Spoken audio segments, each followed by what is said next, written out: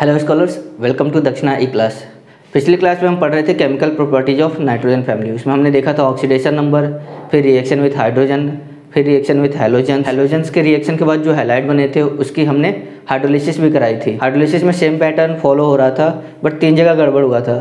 एक एन में, एक बी में, और एक हमारा एस में। एस और बी ये क्या बना रहे थे?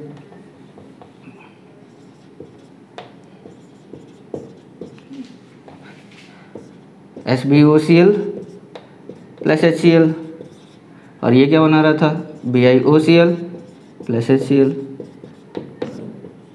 N C L three के हाइड्रोलिसिस में। तो यहाँ हमारा बन रहा था अमोनिया। और एच ओ सी एल मैंने आपको ये भी बताया था, तरीका याद करने के लिए नहीं, सब बीमार। पानी पड़ने पे सब बीमार नहीं पड़ते हैं। क्लियर नहीं, सब बीमार है। Reaction with metals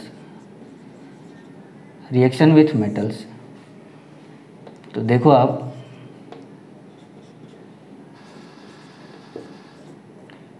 कैल्शियम की वैलेंसी कितनी होती है? Plus two.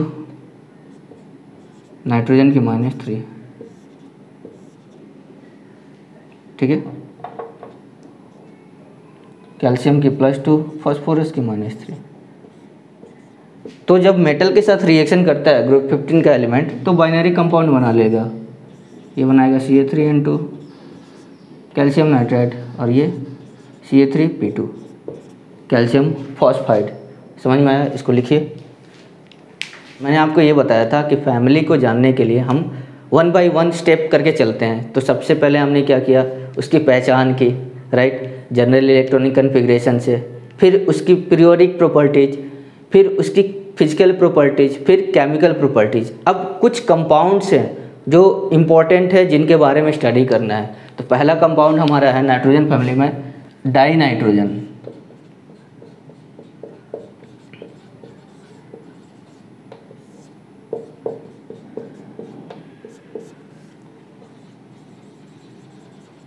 Odourless colourless tasteless अब ये कैसे पता करेंगे? तो देखो एटमॉस्फेयर में नाइट्रोजन लगभग 79 परसेंट है बायो वॉल्यूम मैंने बताया था आपको। तो अभी जैसे मान लो मैं खड़ा हूँ तो यहाँ आसपास में तो नाइट्रोजन होगा ना? बहुत ज़्यादा होगा। तो मैंने बोला कलरलेस सामने कुछ दिखाई तो दे नहीं रहा दे रहा है क्या? आपको कुछ दिखाई दे रहा है? नहीं? मतलब कलरलेस है। नाइट्रोजन है ना? प्रेजेंट है। ये तो मालूम है ना? प्रेजेंट है। चलो। कलरलेस हो गया। ऑर्डरलेस की बात कर लें। कोई महक आ रही है? नहीं आ रही है। तो ऑर्डरलेस भी हो गया। टेस्टलेस टेस्ट करके देखो खुद से। टेस्ट करो। कुछ मिल रहा है क्या? नहीं तो ये कलरलेस ऑर्डरलेस और टेस्टलेस हो गया। इसके अलावा जो नाइट्रोजन के नाइट्रेट्स होते हैं, वो सोलूबल होते हैं वाटर में तो अर्थ क्रस्ट में बहुत ज़्यादा पाए जाते हैं। बहुत सारे नाइट्रेट्स फर्टिलाइजर्स में यूज़ किए जाते हैं। क्लियर तो ये ऑर्डरलेस कलरलेस टेस्टलेस हो गया। और फाउंड इन नाइट्रेट फॉर्म्स याद आ रहा है? आपको बताया था nitrate ores sodium nitrate potassium nitrates like sodium nitrate potassium nitrate nitrate forms in earth crust सबसे important occupies Earth's atmosphere occupies Earth's atmosphere by 79 percent by volume clear है और भी यूजेज हो गए एन से आप पढ़ लेना जब भी हम ब्लॉक केमिस्ट्री पढ़ते हैं तो हम ऐसे ही पढ़ेंगे कि मॉलिक्यूल अगर पढ़ाई कर रहे हैं, हम किसी भी एक मॉलिक्यूल कोई एक कंपाउंड जो बहुत इंपॉर्टेंट उसकी पढ़ाई कर रहे हैं तो सबसे पहले उसका प्रिपरेशन फिर उसके रिएक्शंस और फिर लास्ट में उसके अप्लीकेशंस सबसे पहले प्रिपरेशन फिर रिएक्शंस फिर अप्लीकेशन तो यहाँ पे हमने इसकी फ़िज़िकल प्रॉपर्टी देख ली प्रिपरेशन प्रिपरेशन ऑफ़ डाइनाइट्रोजन पहले प्रिपरेशन फिर रिएक्शंस फिर उसके यूजेज क्लियर पहला by metal nitrides metal nitrides देखिए, अगर मान लीजिए मैंने लिया N A N O two sodium nitrite और इसमें मैंने N H four C L का रिएक्शन कराया। ठीक है? Metal nitrite N H four C L का रिएक्शन कराएगा।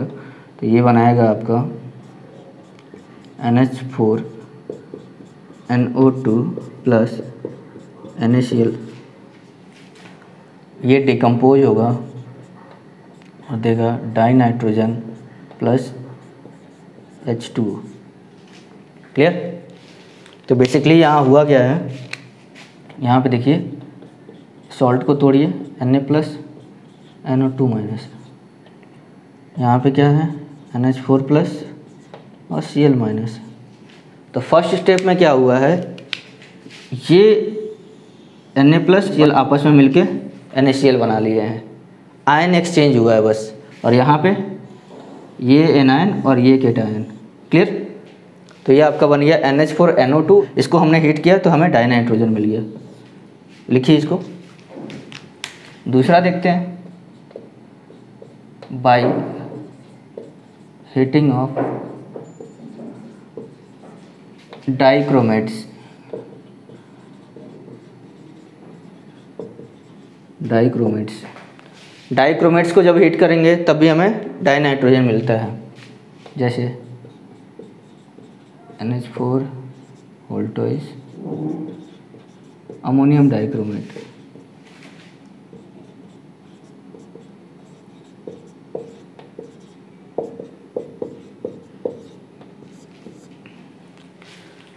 अब आप ये सोचोगे, सर रिएक्शंस याद कैसे करें?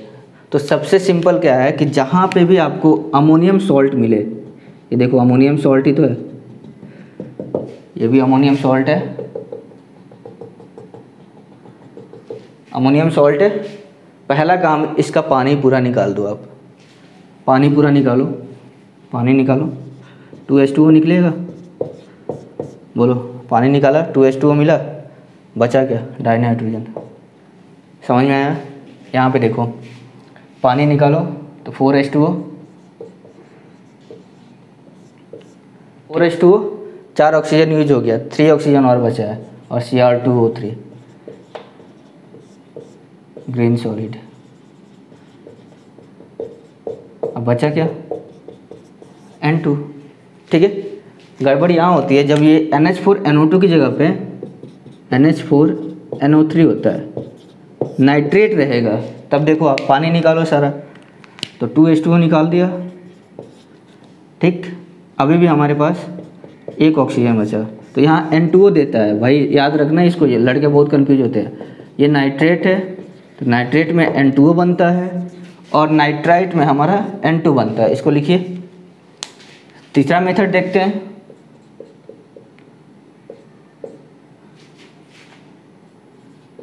By heating of by heating of metal azides azide क्या था अपना? एन थ्री निगेटिव याद आ रहा है? और नाइट्राइट क्या है? एन थ्री निगेटिव यहाँ पे माइनस थ्री का चार्ज है, यहाँ माइनस वन का चार्ज है. तो अगर मेटल एजाइड देखते हैं. बेरियम अजाइड इसको अगर हीट करते हैं हम तो हमें डाई नाइट्रोजन मिल जाता है। इसके अलावा सोडियम अजाइट को भी हीट करेंगे तो हमें नाइट्रोजन मिलता है। इस केस में प्योर नाइट्रोजन मिलता है वेरी प्योर नाइट्रोजन तो आपसे ये क्वेश्चन पूछ सकता है कि for pure nitrogen which method should be use ठीक है? तो आप ये आंसर मार्क करोगे। For pure nitrogen which method is use तो आप लिखोगे heating of metal azides clear हो गया? इसको लिखिए। चौथा मेथड लिखिए। By fractional distillation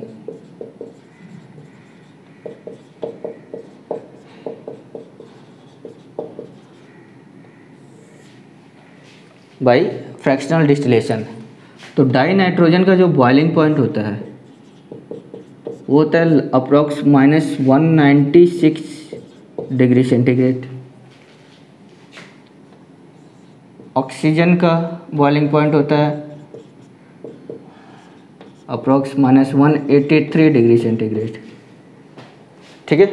एयर में इजीली मिल जाते हैं दोनों. अब इन दोनों में बॉइलिंग पॉइंट का डिफरेंस है। बोलो, डेल्टा है ना? तो मैंने आपको बताया था कि डिस्टिलेशन मेथड वहाँ यूज़ करते हैं जहाँ बॉइलिंग पॉइंट में डिफरेंस हो। तो यहाँ से भी हम डाई नाइट्रोजन निकाल सकते हैं। क्लियर? एक और मेथड देखिए। By producer gas. तो प्रोड्यूसर गैस क्या होती है आप बताओ? बताओ। C O plus H two सही है? नहीं। ये होती है water gas C O plus N two होता है आपका प्रोड्यूसर गैस तो जब प्रोड्यूसर गैस को हम कॉपर ऑक्साइड के ऊपर से पास कराते हैं, थोड़ा सा टिपिकल है, अब मेथड है तो क्या कर सकते हैं? याद तो करना ही पड़ेगा। तो जब प्रोड्यूसर गैस को क्योंकि आई चार रिएक्शंस दे सकती है, दस रिएक्शंस दे सकती है इंटीजर टाइप का क्वेश्चन बना सकता है। हमें नहीं मालूम क्या पूछने वाला है। तो जितने मैक्सिमम मेथड्स है वो हम देखने की कोशिश कर रहे हैं।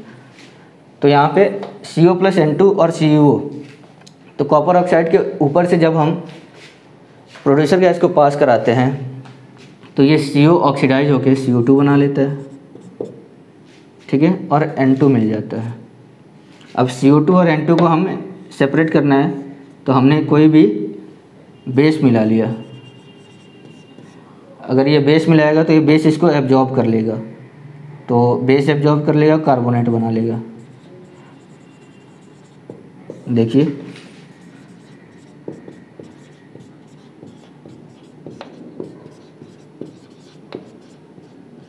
ये कार्बोनेट बन जाता है, और फिर वाटर मिल जाता है आपको। ठीक है? जब भी आपको सी ओ टू के एब्जॉर्ब कराना होगा तो आप बेस मिला लो, आपका काम बन जाएगा। क्लियर इसको लिखिए।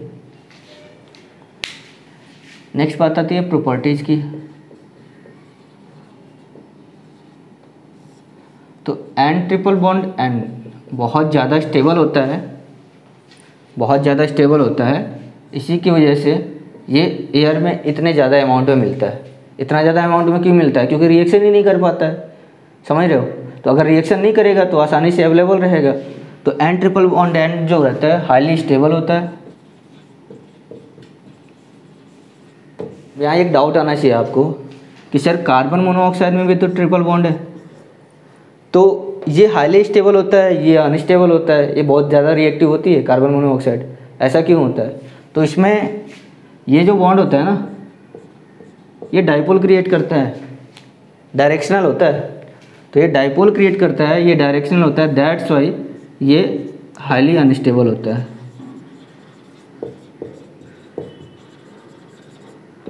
ट्रिपल बॉन्ड इसमें भी है, लेकिन डाइपोल क्रिएट करने की वजह से ये अनस्टेबल होता है, जबकि ये डाइपोल क्रिएट नहीं करता है इसलिए स्टेबल होता है। एमओटी के थ्रू देखें तो इसमें भी फोर्टीन इलेक्ट्रॉन्स है, इसमें भी फोर्टीन इलेक्ट्रॉन्स है। तो दोनों का बॉन्ड ऑर्डर थ्री आता है। ठीक है? दोनों का बॉन्ड ऑर्डर थ्री आता है तो दोनों स्टेबल होने चाहिए। ऑब्वियसली दोनों स्टेबल हैं, लेकिन इसमें डाइपोल मोमेंट की वजह से हमारा स्टेबिलिटी घट जाता है। या इसमें डाइपोल मोमेंट की वजह से स्टेबिलिटी घट जाती है और यहाँ पे हाईली स्टेबल होता है। नेक्स्ट देखते हैं। डाई नाइट्रोजन मेटल के साथ रिएक्ट करता है और मेटल नाइट्राइड बनाता है।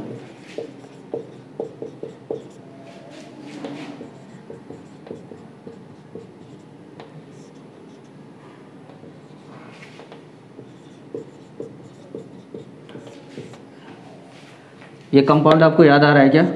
इसके पहले मैंने कहाँ बताया ये? एल एन कहाँ बनता है? बताओ। जहाँ सिलिका की इम्प्योरिटी होती है, राजस्थान वाला। याद आ रहा है? इसका यूज़ कहाँ करते हैं हम? वाइट बॉक्साइट मेटलर्जी में।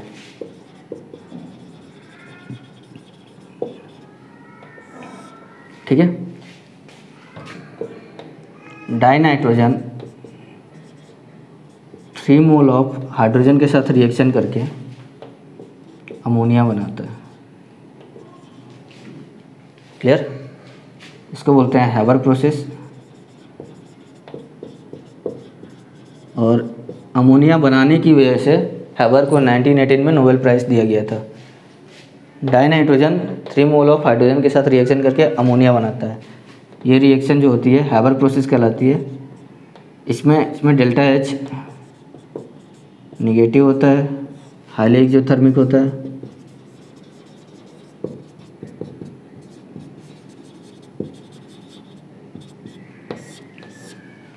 ठीक है? ली चैट लियर्स प्रिंसिपल से आप देख सकते हो रिएक्शन फेवरेबल कब होगा? जब टेम्परेचर लेस होगा और प्रेशर हाई होगा।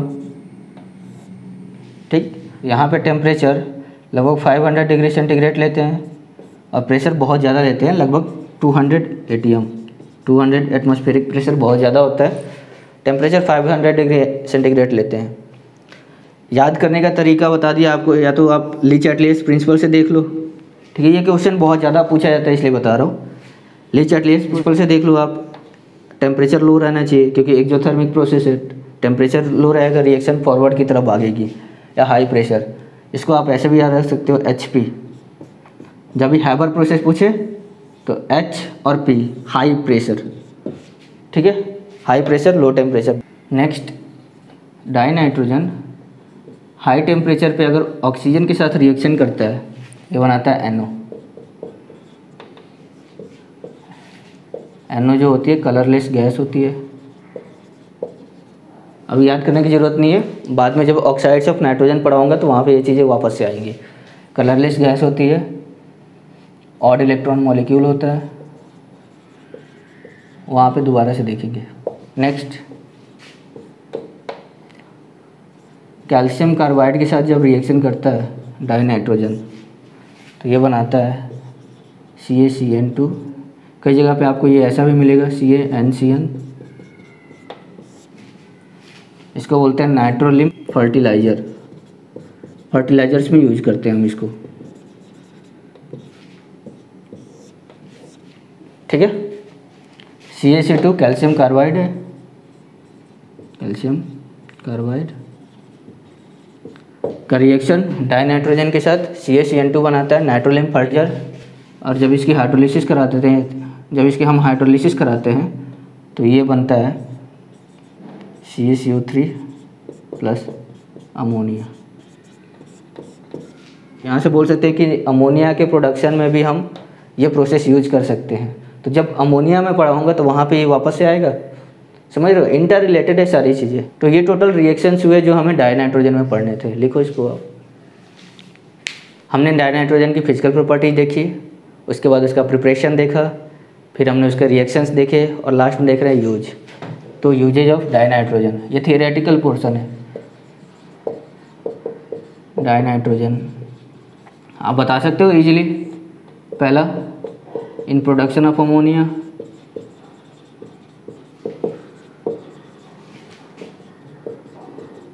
दूसरा in production of nitrolim fertiliser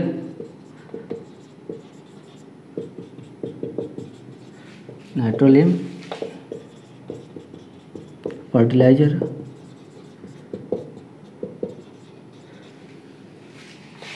तीसरा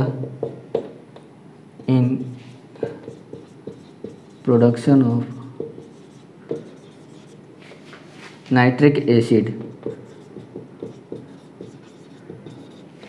H N O three जो हमने ये एन टू प्लस ओ करके रिएक्शन ओ बनाया था, ये ओ थ्री के प्रोडक्शन में यूज़ होता है। ठीक है, ये वहाँ पे दोबारा से आएगा जब एच एन ओ थ्री पढ़ाऊँगा आपको। तो ये in production of nitric acid next compound देखते हैं अमोनिया अमोनिया तो सबसे पहले physical properties pungent odour pungent odour colourless but gives white fumes when reacts with HCl ammonia के एस्टिमेशन में काम आता है या आप सॉल्ट एनालिसिस में पढ़ोगे। कलरलेस गैस तो होती है अब गैस को पहचानी है कैसे? तो हमने एच थोड़ा सा लगाया तो वो वाइट फ्यूम्स देता है। जब आप ट्वेल्थ में प्रैक्टिकल करोगे तो वहाँ पे आप देखोगे। ठीक है पंजेंट ऑर्डर का मतलब समझते हैं।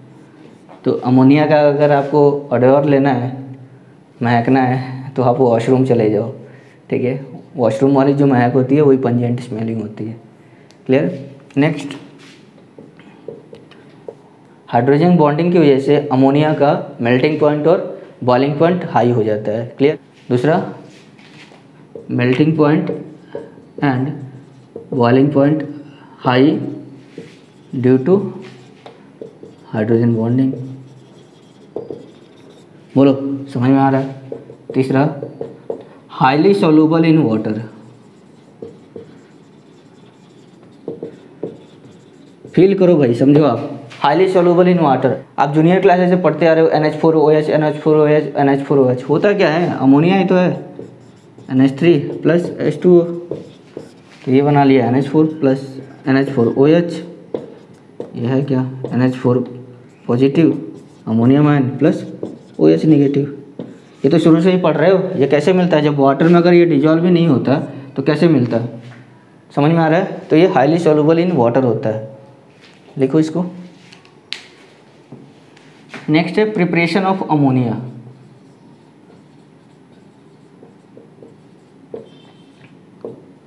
अमोनिया सबसे पहले देखते हैं लेबोरेटरी मेथड लैब में कैसे बना सकते हैं हम इसको? लैब में बहुत लिमिटेड चीज़ें ही होती हैं, बहुत लिमिटेड चीज़ें होती हैं। आप अपने ट्वेल्थ क्लास के लैब में जाना, वहाँ पे भी आप अमोनिया बना सकते हो। और वहीं से अमोनिया जो गैस निकलती है तो वहाँ एचसीएल थोड़ा सा यूज़ करते हैं तो वो वाइट फ्यूम्स आते हैं। या आप लैब में प्रैक्टिकल करोगे तो अपने आप आपको फील आ जाएगा। लेबोरेटरी मेथड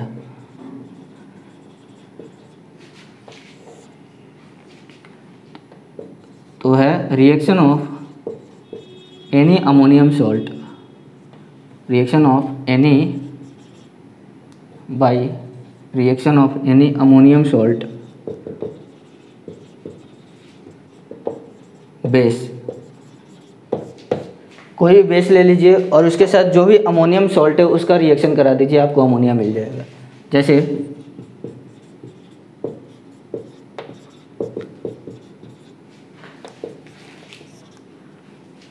सिंपल है? के ओ एच तो ये आपका मिल गया ammonia plus H two O plus potassium nitrate. Simple है N H four positive N O three negative K positive O H negative तो ये इसके साथ कर लेगा, ये इसके साथ कर लेगा। ठीक है? तो ये आपका आ गया। देखो आपके एन ओ थ्री मिल गया, plus N H four O H मिल गया। और ये N H four O H होता क्या है? N H three plus H two बात समझ में आई? लैब में N H four C L आसानी से मिल जाता है अमोनियम क्लोराइड इसका भी बेस के साथ रिएक्शन करा दो आप तो आपको मिल जाएगा N H three plus H two plus K C L लिखिए इसको। By hydrolysis of metal nitride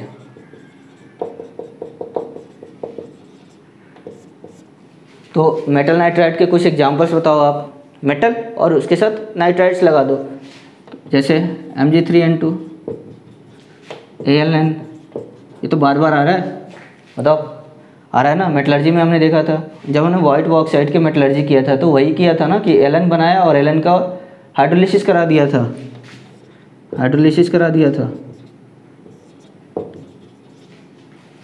तो ये बन गया आपका अमोनिया एच ओ एच तो ये एम जी ओ एच का होल्ट वाइज बोलो, यहाँ पे भी देखो, ये एच लेके जाएगा अमोनिया और एल ओ एच का होल थ्राइस बन गया बोलो, बात समझ में आ रही है? इसके बाद देखते हैं। तीसरा method by hydrolysis of nitrolim fertiliser कर सकते हैं ना भाई? अभी तो जस्ट मैंने आपको बताया था। तो हमारे पास नाइट्रोलियम फर्टिलाइज़र था। C S C N two hydrolysis कराओ तो ये आपका बना लेगा C A C O three plus ammonia next देखते हैं। मोस्ट यूजफुल बोल सकते हो आप। सबसे ज़्यादा अमोनिया यही से बनाते हैं। इसको बोलते हैं Haber process Haber process Haber Bosch process commonly इसको हैबर प्रोसेस बोलते हैं। दो साइंटिस्ट थे हैबर और बॉस इन दोनों ने अमोनिया के प्रोडक्शन में अपना योगदान दिया था। तो इसलिए कई जगह पे आपको हैबर बॉस प्रोसेस भी मिल सकता है। और मोस्टली आप देखोगे तो हैबर प्रोसेस मिलता है। देखो तो इसमें क्या करते हैं? ये तो आपको याद हो गया होगा अब तो।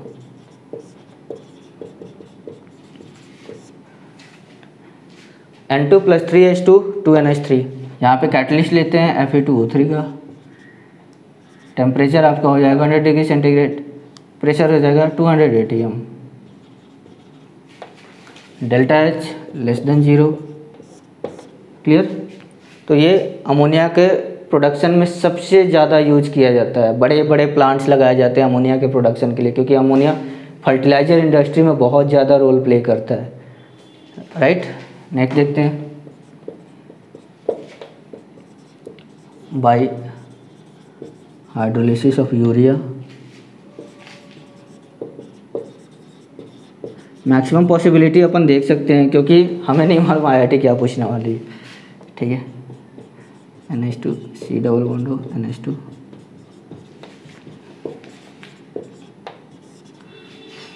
तो ये बनाएगा आपका।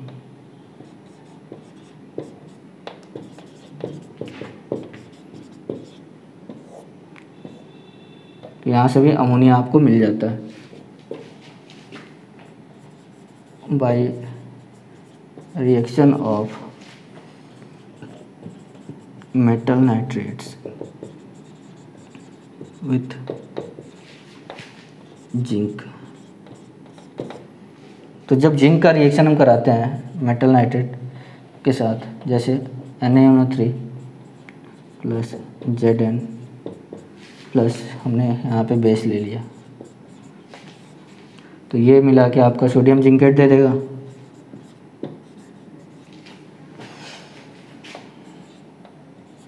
सोडियम जिंकेट दे दिया और हमें अमोनिया मिल जाता है। मेटल नाइट्रेट की जगह मेटल नाइट्राइट्स भी ले सकते हैं। मेटल नाइट्राइट्स भी ले सकते हैं। ये आपको रिएक्शन तब समझ में आएगी जब हम नाइट्रेट का एस्टिमेशन पढ़ेंगे। नाइट्रेट एनायन को कैसे पहचानना है, वहाँ पे ये यूज़ होता है। क्योंकि अमोनिया मिल, यहाँ पे एच मिलाओगे तो वाइट फ्यूम्स मिलेगा तो वो दिखता है। तो हमें ये पता चल रहा है कि ये नाइट्रेट है या नाइट्राइट है। इन दोनों में से कोई एक प्रेजेंट है। N A N O two plus Z N plus N A O H ये रिएक्शन करेगा तो फिर सेम प्रोडक्ट बनाएगा। प्लस अमोनिया इसको लिखिए।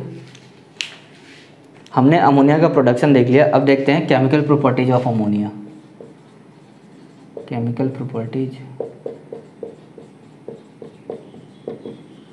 of ammonia first aqueous ammonia एक वीक बेस है। तो ये बहुत सारे मेटल के सॉल्ट को उसके ऑक्साइड में कन्वर्ट कर देता है। देखते हैं। क्या बोला? एक्वस अमोनिया मतलब एन एच थ्री एक्वस भी लिखा हो सकता है, या फिर N H four O H भी लिखा हो सकता है। ये एक वीक बेस है। वीक बेस है। बहुत सारे मेटल सॉल्ट्स को उनके ऑक्साइड में प्रेसिपिटेट बना देता है। जैसे देखते हैं एफ़ थ्री तो ये N H three N H four O H था। तो इसने बना दिया ammonium salt N H four C L plus F E two O three dot X H two O अब यहाँ पे देखो आप तो एफ़ ई प्लस थ्री पे है। तो ये जो पीपीटी बनेगी हमारे पास, ये होगी ब्राउन पीपीटी ठीक है? नेक्स्ट देखते हैं। अमोनिया एच रख रहे थे aqueous ammonia plus zinc sulphate तो ये अमोनियम सल्फेट बना लेता है। प्लस जिंक का हाइड्रोक्साइड ये आपका वाइट पीपीटी देता है। वाइट पीपीटी देता है। ये आपका वाइट पीपीटी देता है। जिंक प्लस टू पे वाइट पीपीटी देता है जब क्वालिटेटिव एनालिसिस पढ़ेंगे तो ये बहुत काम आने वाला है। जिंक प्लस टू पे वाइट पीपीटी देता है। एफ़ ई प्लस थ्री पे ब्राउन पीपीटी देता है, वहाँ पे भी यूज़ होगा। अब देखो आप, हमने एक्सेस ऑफ़ अमोनिया ले लिया।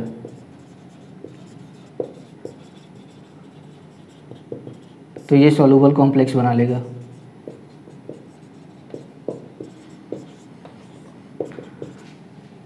ये सॉल्युबल कॉम्प्लेक्स बना लेगा।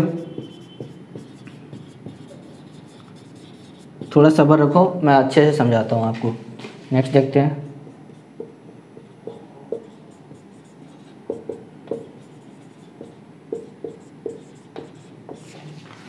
तो ये बनाएगा आपका सी आर ओ एच का whole thrice PPT plus ammonium chloride तो अब आप हमें बताओ कि इस पीपीटी का कलर क्या होना चाहिए? बताओ, इस पीपीटी का कलर क्या होना चाहिए? थोड़ी देर पहले मैंने आपको डाइक्रोमेट की हीटिंग बताई थी। तो वहाँ पे बताया था आपको डाई नाइट्रोजन मिलता है C R two O three मिलता है प्लस एस टू ओ मिलता है। तो यहाँ पे लिखा था मैंने कुछ, ये कौन से कलर का है? ये ग्रीन सॉलिड है। ऑक्सीडेशन नंबर देखो क्रोमियम का प्लस थ्री है। सेम यहाँ पे देखो प्लस थ्री है। तो ये आपको ग्रीन पीपीटी देगा। बात समझ में आ रही है क्या? लिखिए इसको। नेक्स्ट देखते हैं।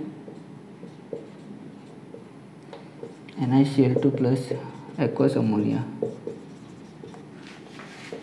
तो फिर से ये देगा एन आई ओ एच का whole twice plus N H four C L N I plus two में है तो ये ग्रीन पीपीटी देता है।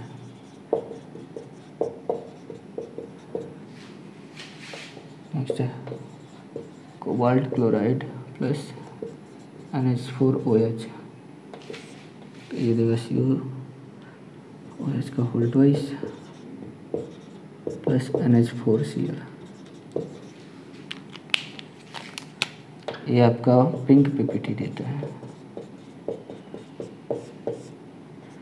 ये प्लस टू में है ये प्लस टू में ठीक है इसको लिखिए complex formation by ammonia complex formation by ammonia देखो आप, अमोनिया के पास लोन पेयर है। तो लोन पेयर है तो ये सेंट्रल मेटल एटम को लोन पेयर दे सकता है। तो कॉम्प्लेक्स बना सकता है। बोलो। तो ये एज अ लोइस बेस की तरह काम कर सकता है।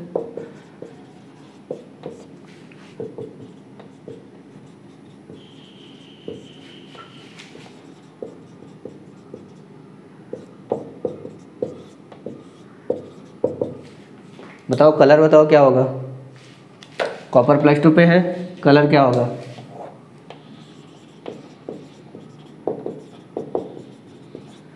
इसका कलर बताओ।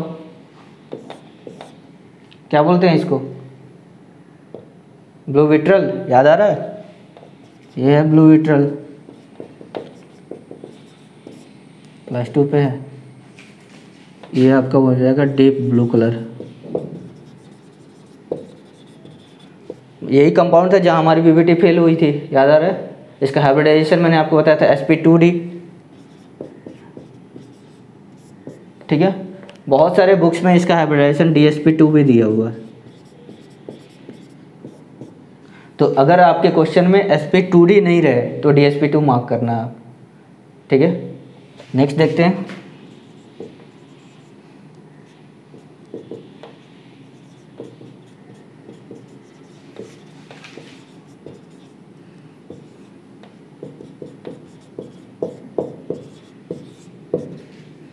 ठीक है? सिल्वर अमोनिया ये कलरलेस सॉल्यूशन दे देता है कॉम्प्लेक्स बना के। अब तो कोई डाउट नहीं है ना? ए जी प्लस पे है। A G plus one oxidation number बोलो। A G plus oxidation number तो वन ऑक्सीडेशन नंबर वाला कोऑर्डिनेशन नंबर कितना देता था? वन ऑक्सीडेशन नंबर वाला कोऑर्डिनेशन नंबर कितना देता था? वन वाला क्या देता था? टू या फोर टू वाला क्या देता था? फोर या सिक्स बाकी सब सिक्स देते थे। याद आ रहा है? कोऑर्डिनेशन कंपाउंड में आपको पढ़ाया ये सब। तो यहाँ पे या तो ये फोर देता या फिर ये टू देता। ठीक है? तो ये यहाँ पे टू कोऑर्डिनेशन नंबर में रहता है।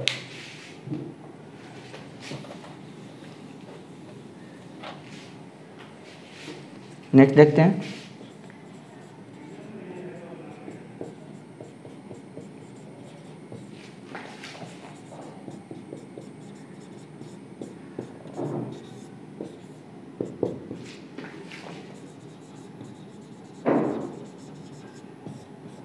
ठीक है?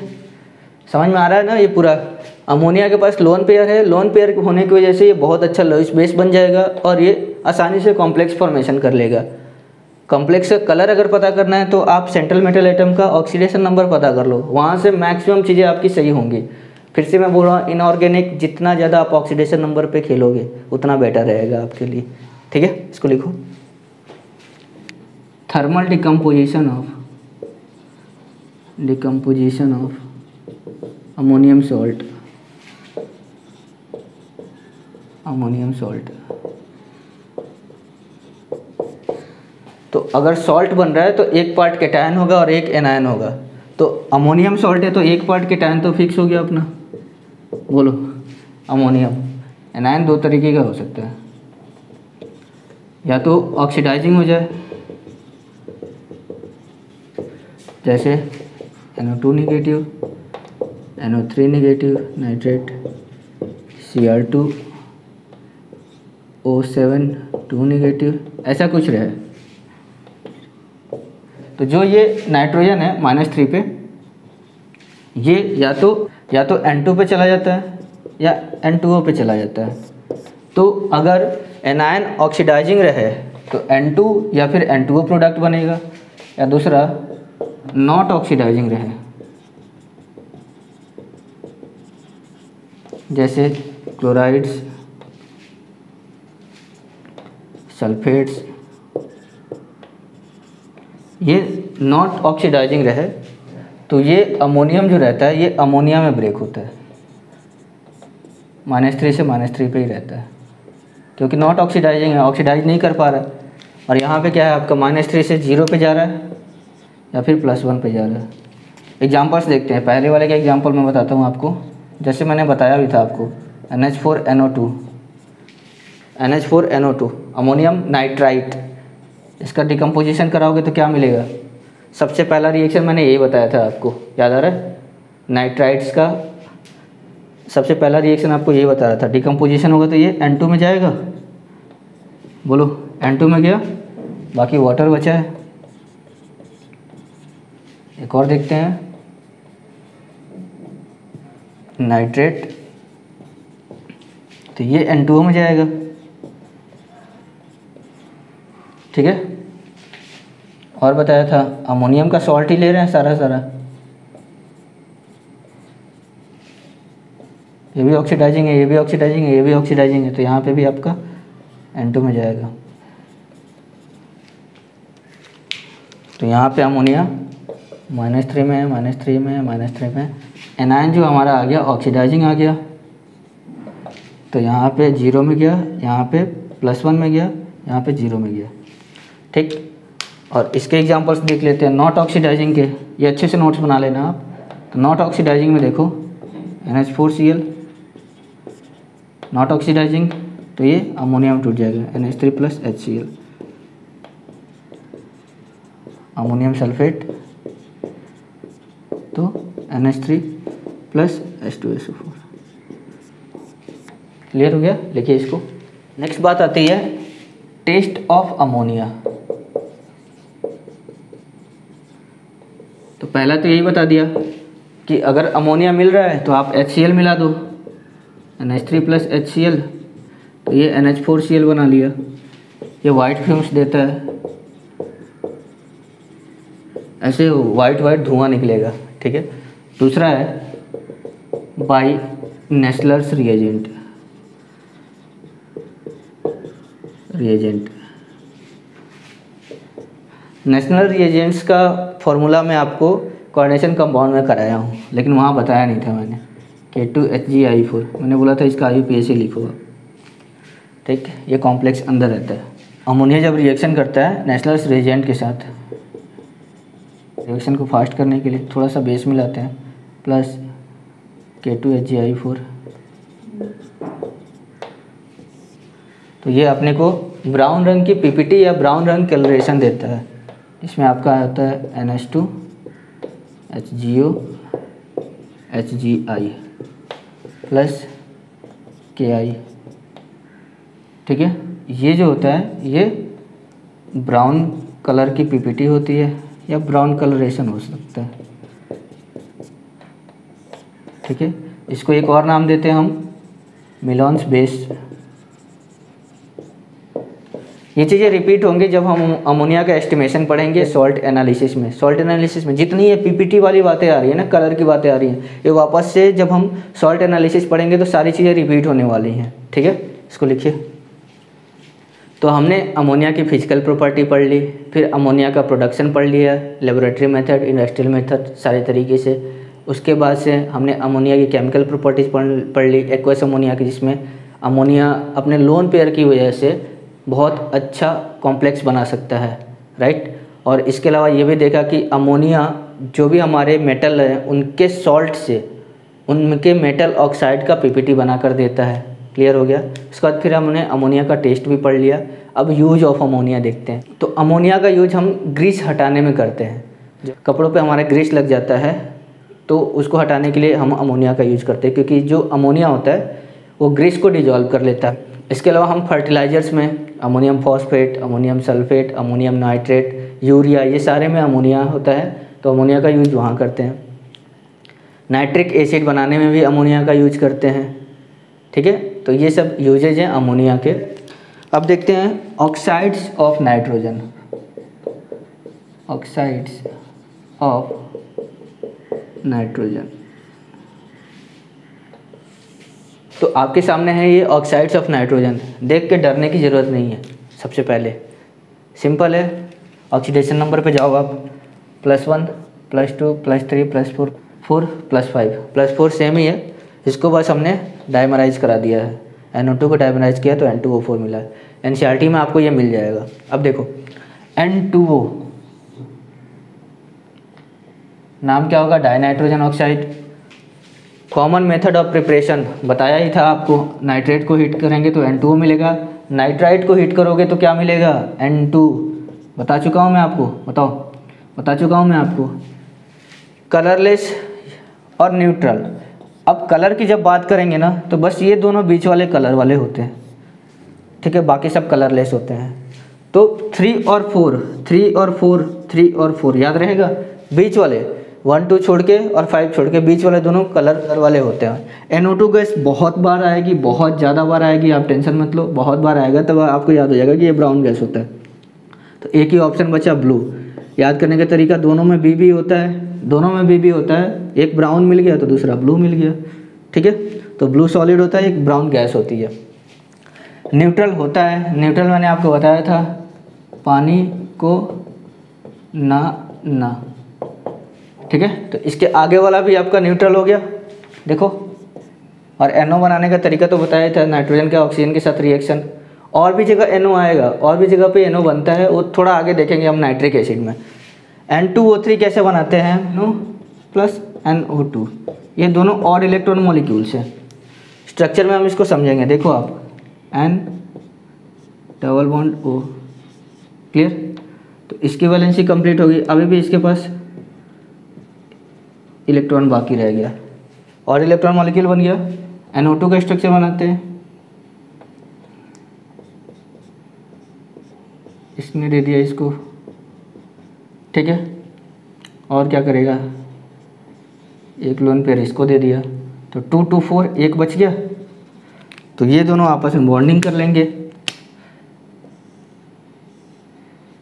समझ में आ रहा है? N O plus N O two बना लिया N two O three N O two आपको बहुत बार मिलेगा। अभी रिएक्शंस आगे बहुत सारे आने वाली वहाँ देखोगे देखोगे कि नाइट्रेट्स का जब नाइट्रिक एसिड के साथ हम रिएक्शन कराते हैं तो एन ओ टू मिलता है हमें। उसके बारे में टेंशन मतलब बहुत ज़्यादा पड़ने वाला है। ये रिएक्शन हमने, बस इसको डायमराइज कर दिया एन को तो एन मिल गया। सेम है ऑक्सीडेशन नंबर से चेक कर लेना ये रिएक्शन थोड़ी इंपॉर्टेंट है। तो ऑर्गेनिक में भी आपने ये पढ़ लिया होगा कि P four O ten dehydrating agent है। है कि नहीं भाई? है ना? याद रखना डिहाइड्रेटिंग एजेंट है। तो डिहाइड्रेटिंग एजेंट है तो पानी खींचेगा। तो पानी खींचेगा तो हो जाएगा H two O plus P four O ten बचा क्या इसमें? एन टू ओ फाइव बोलो भाई, बात समझ में आ रही है? अब ये दोनों आपस में रिएक्शन कर लेंगे और एच पी ओ फोर बना लेगा। क्योंकि ये देखो आप ध्यान से पी फोर ओ टेन यहाँ पर देखो ध्यान से कि केवल दो वाटर मॉलिक्यूल है। ज़्यादा रहता तो ये H three P O four बनाता, ठीक है? लेकिन अभी कम है तो एक एच पी ओ फोर बना लेगा। तो एच पी ओ फोर और ये आपका मिल गया एन टू ओ फाइव समझ में आया? इसको नोट डाउन करिए। एन डबल बॉन्ड एन, अभी भी तीन इलेक्ट्रॉन है, इसके पास ऑक्सीजन को दो चाहिए, दो दे दिया। तो ये बन गया। इसके अलावा और क्या सोच सकते हैं हम? एन ट्रिपल बॉन्ड एन ले लें। और ये अपना लोन पेयर इसको दे दे। बोलो। समझ में आ रहा है? इन दोनों में ज़्यादा स्टेबल कौन होगा? ये होगा, क्योंकि यहाँ पे एक और इलेक्ट्रॉन मॉलिक्यूल बन रहा है। तो ये ज़्यादा स्टेबल होगा। नेक्स्ट देखो। एन ओ तो एन डबल वन ओ इसका ऑक्टेट कंप्लीट हो गया। इसके पास लोन पेयर बाकी रह गए और एक इलेक्ट्रॉन एक्स्ट्रा है। और इलेक्ट्रॉन समझ में आ रहा है? नेक्स्ट देखो। ये आपका हो गया प्लस वन ये हो गया प्लस टू अब देखते हैं plus three N two O three इसको देखने के पहले हम देखते हैं प्लस फोर वाला N O two N O two देखते हैं तो ये आपका एन डबल बॉन्ड ओ, ये लोन पेयर दिया, हो गया। एक इलेक्ट्रॉन बचा डबल बॉन्ड ओ, ये, और एक लोन पेयर इसको लिखता हूँ मैं एन सिंगल डबल बॉन्ड तो ये लोन पेयर और ये आपका और इलेक्ट्रॉन अब ये दोनों मिलके बॉन्ड बना ले रहा है। बोलो, ये दोनों मिलके बॉन्ड बना ले रहा है। तो ये आपका हो गया एन टू ओ थ्री बात समझ में आई? इसको डायमराइज कर लो। ये प्लस फोर हो गया। प्लस फोर वाला एक और था एन टू ओ फोर इसको डायमराइज कर लो N double one dough O N double one dough O ठीक है?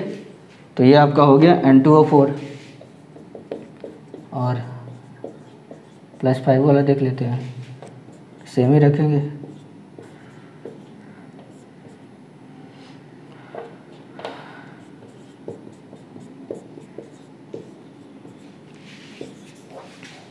स्ट्रक्चर बनाने का बेसिक तरीका याद रखना आप, कि सिमेट्री फॉलो करें पहली चीज़ और दूसरा ऑक्टेट कंप्लीट कराने की कोशिश करो। तो चीज़ें आसान हो जाएँगी आपके लिए।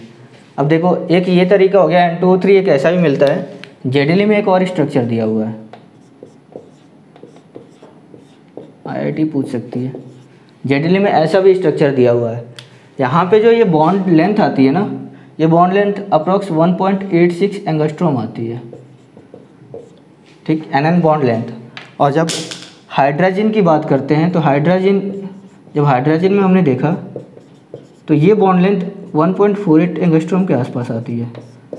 ठीक है? तो ये मॉलिक्यूल ज़्यादा स्टेबल नहीं होता है। समझ में? तो यहाँ पे ये देखा गया कि ये वन एन एन बॉन्ड 1.48 आती है, जबकि यहाँ पे 1.486 आती है।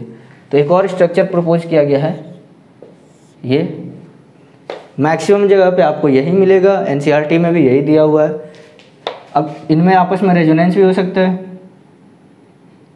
इनमें आपस में रेजोनेंस भी हो सकता है। तो ये एक और रेजोनेटिंग स्ट्रक्चर बन सकता है।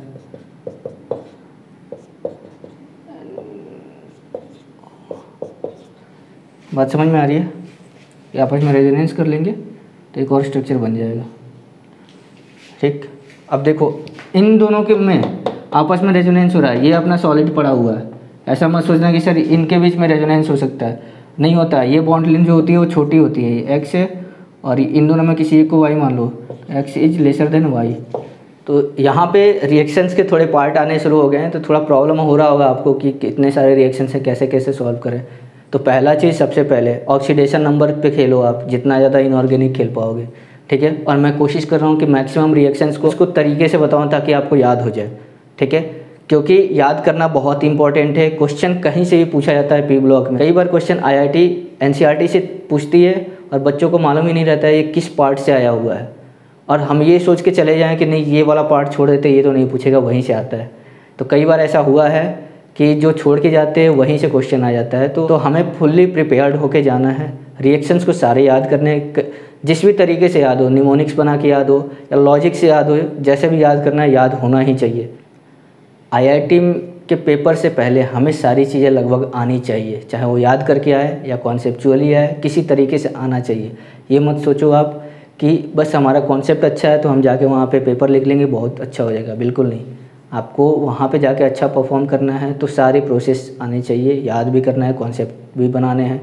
टाइम मैनेजमेंट का भी ध्यान देना है। सारी चीज़ें जब आप एक साथ इनकलकेट करके पेपर दोगे तभी अच्छी रैंक बन सकती है। इसके आगे है नाइट्रिक एसिड वो हम कल पढ़ेंगे।